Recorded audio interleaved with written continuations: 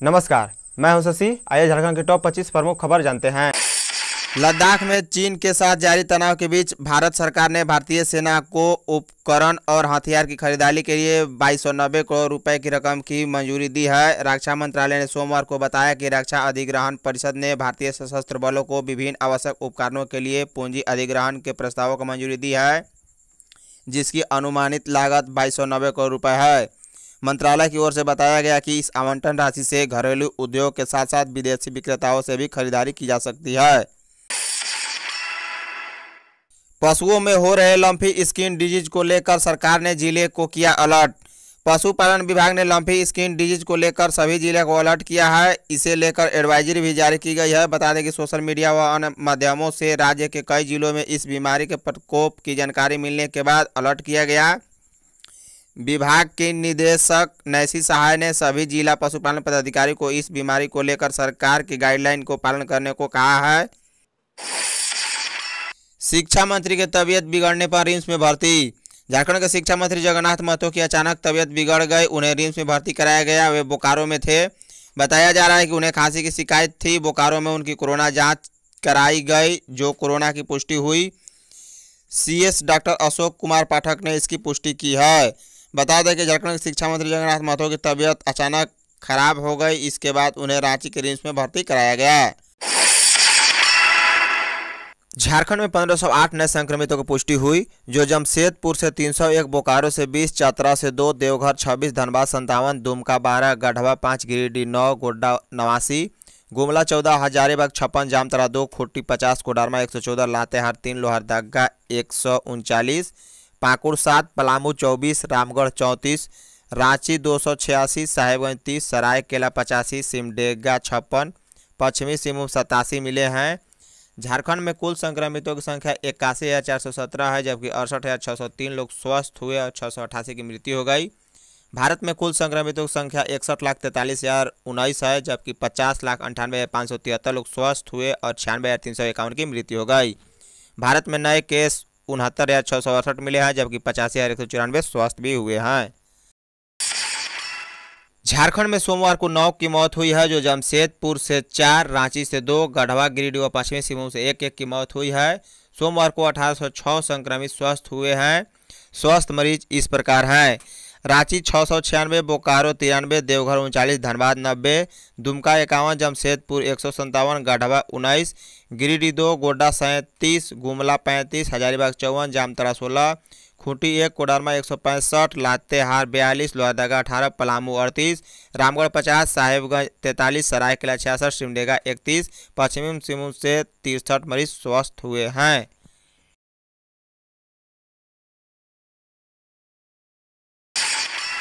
Corona जाँच मात्र पाँच सौ पचास रुपये में। सचिव, झारखंड में कोरोना वायरस के संक्रमण की जाँच की दरों में भारी कटौती की गई है। राज्य की हेमंत सोरेन सरकार ने रैपिड एंटीजन टेस्ट किट से जाँच की दर पाँच सौ पचास रुपये तय कर दी है।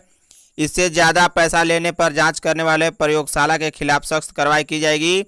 स्वास्थ्य, चिकित्सा, शिक्षा एवं परिवार कल्याण विभाग ने सोमवार को इस संबंध में आदेश जारी कर दिया है। पारा शिक्षक मौत पर पाँच लाख, रिटायरमेंट पर तीन लाख। समग्र शिक्षा अभियान के तहत कार्यरत राज्य के पारा शिक्षक बीआरपी सीआरपी और कस्तूरबा गांधी बालिका विद्यालयों के शिक्षकों और कर्मियों का कार्यकाल के दौरान निधन होने पर उनके आश्रित को पाँच लाख रुपए मिलेंगे। झारखंड शिक्षा परियोजना द्वारा इसके लिए बनाए गए कल्याण कोष का ड्राफ्ट आउट फाइनल कर लिया गया है। राशन कार्ड के लिए अंतिम मौका 30 तक करे आवेदन। राशन कार्ड बनवाने के लिए 30 सितंबर 2020 आखिरी तारीख है। ऑनलाइन या ऑफलाइन दोनों माध्यमों से आवेदन कर सकते हैं। बता दें कि खाद्य सार्वजनिक वितरण एवं उपभोक्ता मामला विभाग द्वारा 15 नवंबर से झारखंड राज्य खाद्य सुरक्षा योजना की शुरुआत की जा रही है। इसके तहत गरीब लोगों को सब्सिडी वाले पाँच किलोग्राम खाद्यान्न हर माह एक रुपये प्रति किलोग्राम की दर से दिए जाएँगे। रांची से हावड़ा दिल्ली, जयनगर, पटना, दुमका के लिए खुलेगी ट्रेन। कोरोना वायरस की वजह से जारी लॉकडाउन के दौरान आने वाले त्यौहार के मद्देनजर रांची से कई जगहों के लिए एक साथ ट्रेन शुरू होने जा रही है। बता दें कि रांची से कोलकाता, रांची से नई दिल्ली, रांची से जयनगर, पटना और दुमका के लिए शीघ्र ही ट्रेन सेवाएँ शुरू की जाएगी। सूत्रों की माने तो Hatia, Howrah express, Ranchi Delhi Garib Rath express, Ranchi Jaynagar express, Ranchi Patna Shatabdi express, Ranchi Dumka intercity express का परिचालन शुरू होगा। गाँव के लोगों में एंटीबॉडी ज़्यादा, ग्रामीण लोग प्लाज्मा देने में आगे। राज्य में बिना लक्षण वाले मरीज़ की संख्या ज़्यादा है, वहीं गाँव की तुलना में शहरी क्षेत्र में लक्षण वाले मरीज़ की संख्या ज़्यादा है। बता दें कि कोरोना से स्वस्थ होने के बाद शहरी क्षेत्र की तुलना में ग्रामीण क्षेत्र के लोग प्लाज्मा देने के लिए ज़्यादा उपयुक्त पाए जा रहे हैं। शहरी क्षेत्र के ज़्यादातर लोग अनफिट हो रहे हैं। विशेषज्ञों की माने तो ऐसा इम्यूनिटी के कारण हो रहा है। आदिवासी बहुल्य क्षेत्र से आने वाले लोग में एंटीबॉडी ज़्यादा मिल रही है। तबलीगी जमात से जुड़े सत्रह विदेशी रिहा। कोरोना संक्रमण फैलाने के मामले में आरोपित तबलीगी जमात के सत्रह विदेशी समेत अठारह लोगों को सिविल कोर्ट से बड़ी राहत मिली है। सिविल कोर्ट ने तबलीगी जमात के सत्रह विदेशी सहित अठारह लोगों को रिहा कर दिया है। बता दें कि अदालत ने तबलीगी जमात के लोगों को सरकारी आदेश न मानने सहित छोटे मोटे आरोप में दोषी पाया, जिसे बाईस बाईस सौ रुपये जुर्माना जमा कर रिहा करने का आदेश देते हुए केस को खत्म कर दिया। मनरेगा कार्यों को समय से पूर्ण करे खूंटी उपायुक्त खूंटी जिला समन्वय समिति की बैठक सोमवार को समानालय सभागार में आयोजित की गई। अध्यक्षता करते हुए उपायुक्त शशि रंजन ने विभिन्न विषयों पर विस्तार से चर्चा की। उन्होंने परियोजना निदेशक को निर्देश दिया कि मनरेगा के तहत सभी कार्यों को समय से पूर्ण करे। साथ ही उन्होंने कहा कि मनरेगा के तहत संचालित सभी कल्याणकारी योजनाओं को सफल बनाना हमारी प्राथमिकता होनी चाहिए। किसान बिल के विरोध में कांग्रेसियों ने दिया धरना। केंद्र सरकार द्वारा लागू किए गए किसान बिल का कांग्रेस पार्टी ने विरोध कर रही है। सोमवार को झारखंड कांग्रेस ने बिल के विरोध में रांची के मोराबादी मैदान में बापू वाटिका के सामने धरना प्रदर्शन किया। इस दौरान कांग्रेस के विधायक, मंत्री, सांसद व अन्य नेता कार्यकर्ता मौजूद रहे। बता दें कि इसके बाद कांग्रेसियों ने रैली निकाल कर नारे लगाते हुए विरोध जताया। बाद में कांग्रेस के कुछ वरिष्ठ नेता ने राज्यपाल से मिलकर उन्हें ज्ञापन भी सौंपा है। सरकार सुप्रीम कोर्ट में जल्द अपील करे, सरना धर्मगुरु तिग्गा। अनुसूचित जिला की रद्द हुई नियुक्तियों से प्रभावित शिक्षकों ने सोमवार को सरना धर्मगुरु बंधन तिगा से मुलाकात की। उन्होंने अपनी परेशानियों से धर्मगुरु को अवगत कराया। बंधन तिगा ने कहा कि नियोजन नीति 2016 को माननीय उच्च न्यायालय द्वारा असंवैधानिक मानते हुए तेरह अनुसूचित जिलों की नियुक्ति रद्द करने का फैसला दिया गया। इसके विरुद्ध झारखंड सरकार को बिना देर किए सुप्रीम कोर्ट जाना चाहिए। झारखंड में घर ज़मीन की रजिस्ट्री महँगी होगी। झारखंड में घर ज़मीन की खरीद बिक्री महँगी होगी। झारखंड सरकार ने स्टाम्प ड्यूटी दो फ़ीसदी बढ़ाने पर प्रस्ताव नए सिरे से केंद्र सरकार को भेजा है। बता दें कि केंद्र की हरी झंडी के बाद स्टाम्प ड्यूटी परिसंपत्ति के मूल्य की छः फ़ीसदी हो जाएगी। फ़िलहाल यह चार फ़ीसदी है। पलामू में सात निजी क्लिनिक को किया गया सील। प्रशिक्षुक आईएएस दिलीप प्रताप सिंह शेखावत ने सोमवार को पलामू के मेदनी राय मेडिकल कॉलेज एवं हॉस्पिटल के समीप छापेमारी की। उनके साथ civil surgeon doctor John of Kennedy एवं medical superintendent doctor K N Jha भी थे। बता दें कि छापेमारी के दौरान मेदनी राय मेडिकल कॉलेज एवं हॉस्पिटल के 500 मीटर के दायरे में निजी क्लिनिक संचालक करने वाले के खिलाफ कार्रवाई की गई। इस दौरान सात निजी क्लिनिक को सील किया गया, जबकि छः लोगों को हिरासत में लिया गया है। कोडारमा उपायुक्त ने पेयजल आपूर्ति की समस्या को लेकर बैठक की।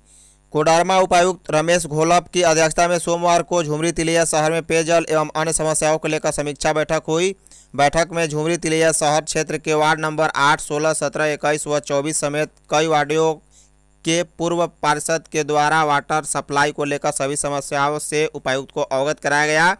उपायुक्त ने कार्यपालक, पदाधिकारी व सहायक अभियंता को निर्देशित करते हुए कहा कि वाटर सप्लाई सुचारू रूप से करना सुनिश्चित करे। गंभीर मरीजों की जान बचाने में संजीवनी का काम करेगी प्लाज्मा, धनबाद उपायुक्त। कोरोना से संक्रमित गंभीर मरीजों की जान बचाने में प्लाज्मा थेरेपी संजीवनी का काम करेगी। इससे कई लोगों की जान बचाई जा सकती है। उक्त बातें धनबाद उपायुक्त उमा शंकर सिंह ने सोमवार को प्लाज्मा डोनर्स के लिए अपील जारी करते हुए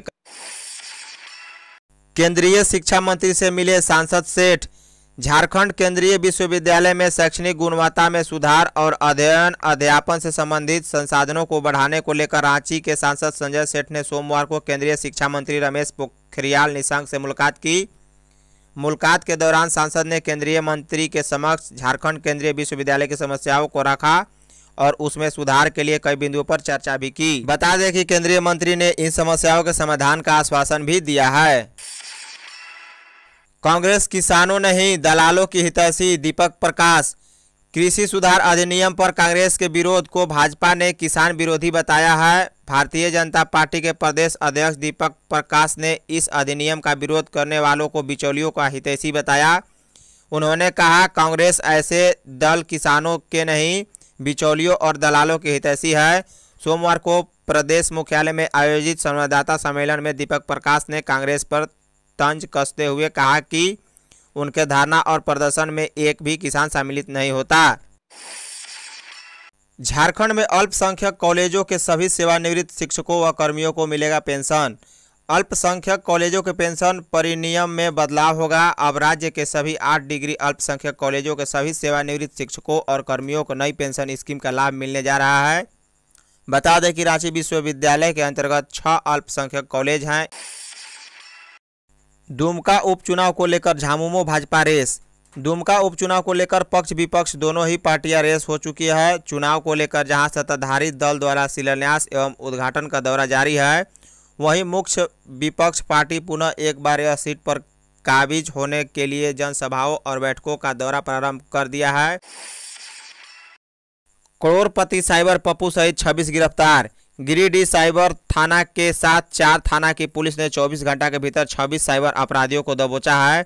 गिरफ़्तार अपराधियों से अभी पूछताछ जारी है। साइबर डीएसपी संदीप सुमन समदर्शी ने गुप्त सूचना के आधार पर सोमवार की सुबह करोड़पति साइबर अपराधी पप्पू मंडल को गांडे थाना क्षेत्र से दबोचा है।